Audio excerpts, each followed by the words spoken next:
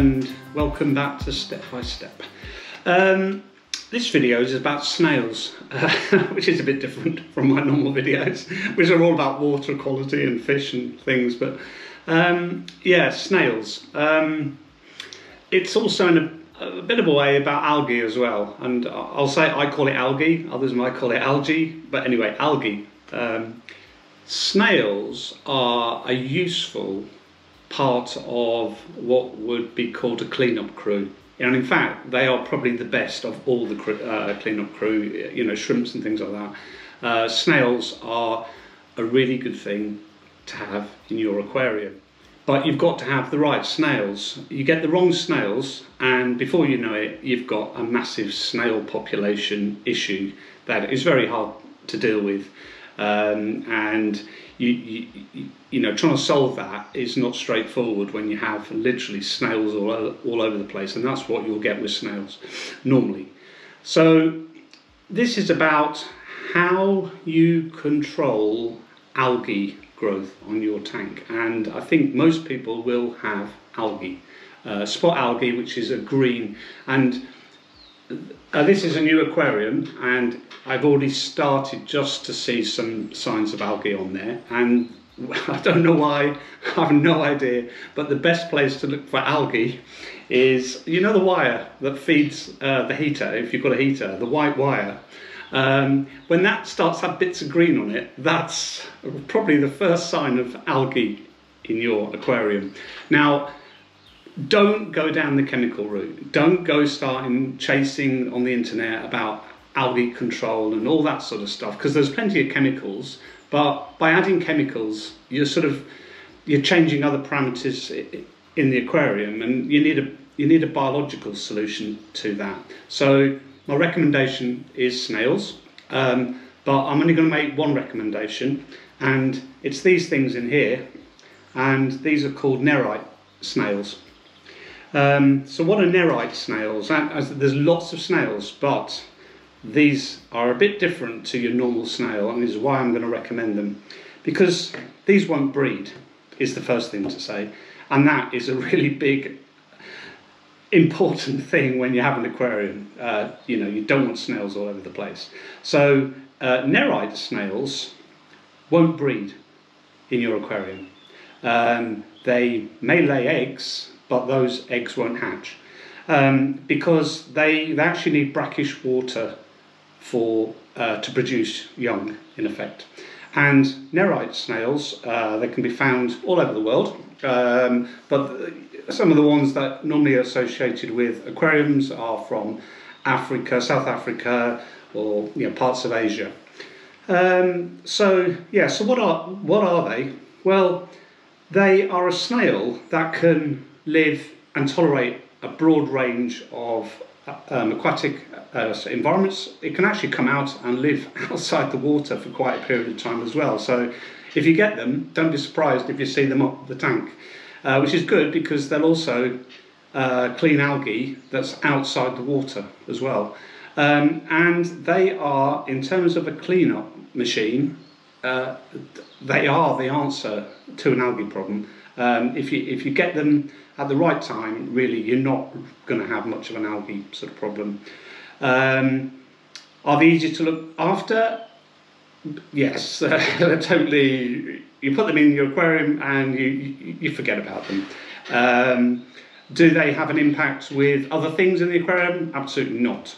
Um, they're very docile.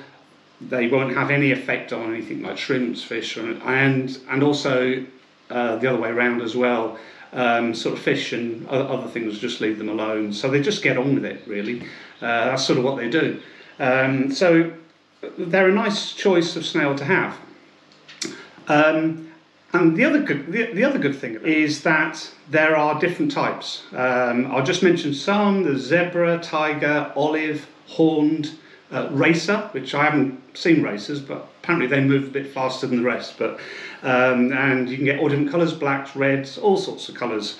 Um, the ones I have in here um, are uh, zebra. Um, I've also got uh, horned or, or bumblebee.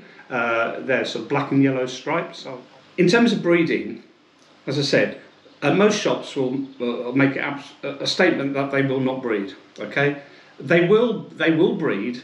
They can breed in fresh water. They can lay eggs, but those eggs will not hatch. Okay, you have to put them in a, um, a saline, uh, brackish water uh, tank environment for that to happen. So, and quite unusually, compared to other snails, is they need a male and a female to breed as well. Uh, most snails uh, can breed asexually, um, if that's the right word, um, so hermaphrodites.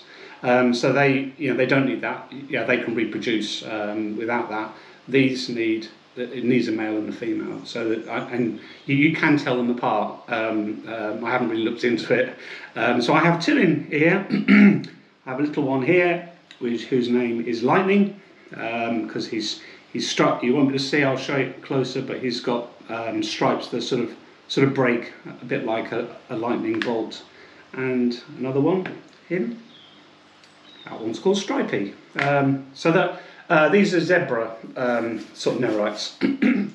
In terms of water parameters, uh, we'll say, um, they need ideally a pH between 7 and 8, um, temperature between 20 to 30 degrees centigrade is their preferred range. Uh, they do prefer warmer waters, uh, warmer water.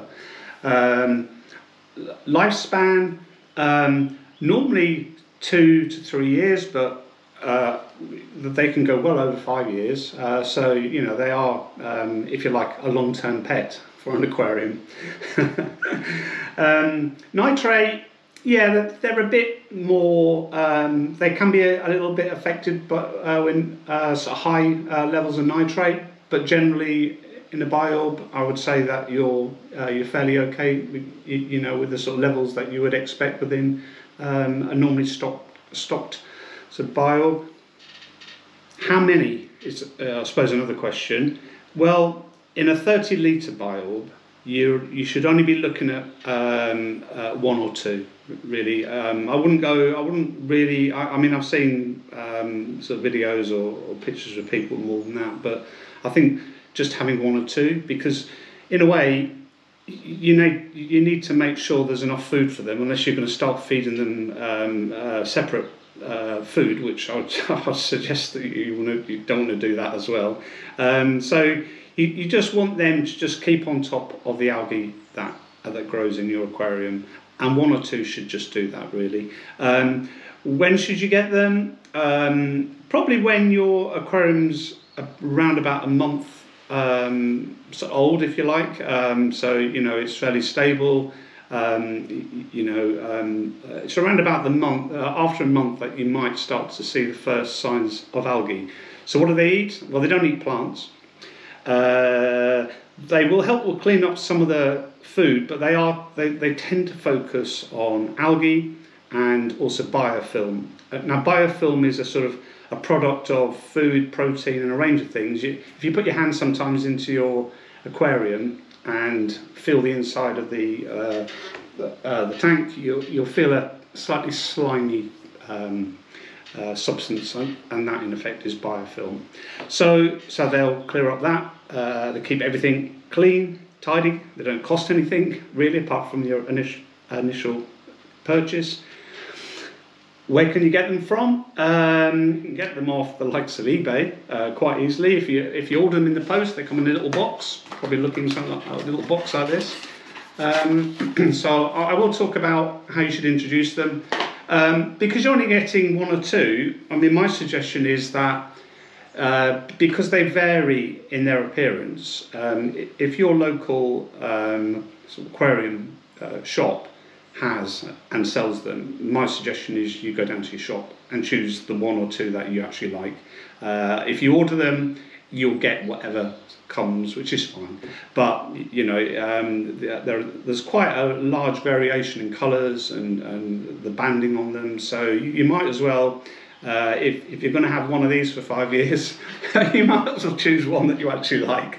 So, so go and choose them uh, from your aquarium if you can. Otherwise, just order them online. They'll come in the post. Uh, it won't affect them.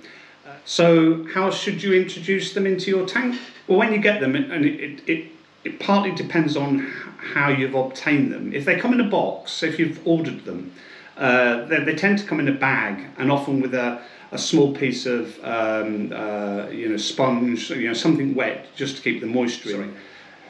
So those snails, if you get them that way through the post, uh, need to be acclimatised. And I would, I would just suggest, isn't that where you get them from? You should you should almost treat treat them like a, um, a fish. I think is the only way to say.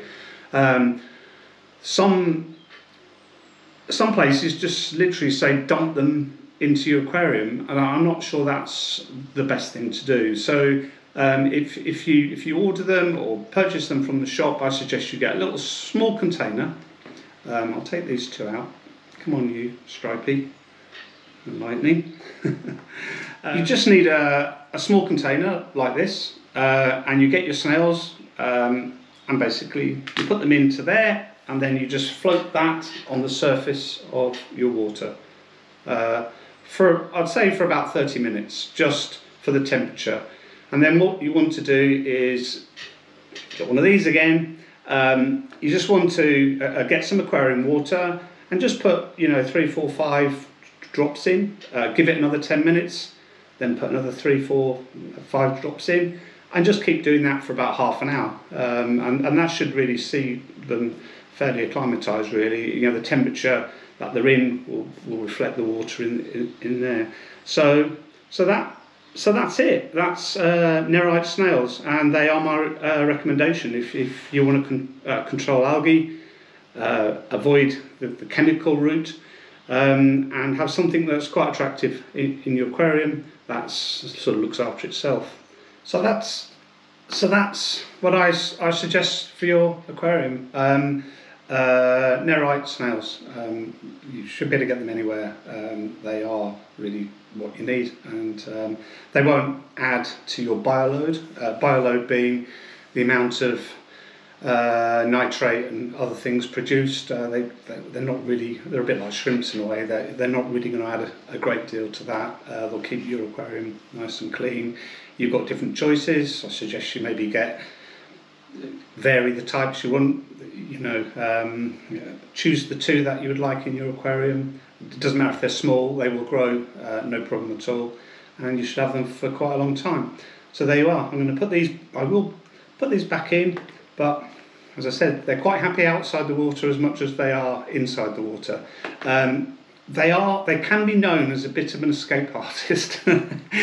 so another, I think you're fine with the bio because you have a lid on, but if it was an aquarium without a lid, they they can they can actually go off for a uh, I was going to say for a walk. Uh, walk's the wrong word. A crawl on their foot.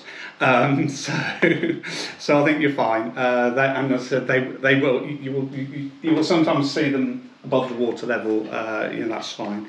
Uh, they're quite happy. They they're just clearing up algae and other sort of things higher up. So yeah, they are um, a very good helpful thing to get. So that's it for this video, uh, a video all about snails um, and very nice looking snails as well. I hope you look into them, I hope you think, yeah, I want some of those. Uh, lots of different uh, choice uh, of, of appearance and colours and a range of things, so look into them, um, certainly recommended. Uh, yeah, so thanks for watching the video. Um, oh, and thanks for all the comments, by the way. There's lots of comments being generated on on the uh, on the channel, and I, I, really appreciate hearing from people. Um, it's nice to know I'm not just talking to a camera and nobody's listening. So that that's good. So that, so that's it from me. Um, and okay, I oh, sorry, hang on. Yeah, okay, okay, I, I will do. I will do. Okay. Um, yes, they just said don't forget to subscribe if you haven't subscribed. Take care.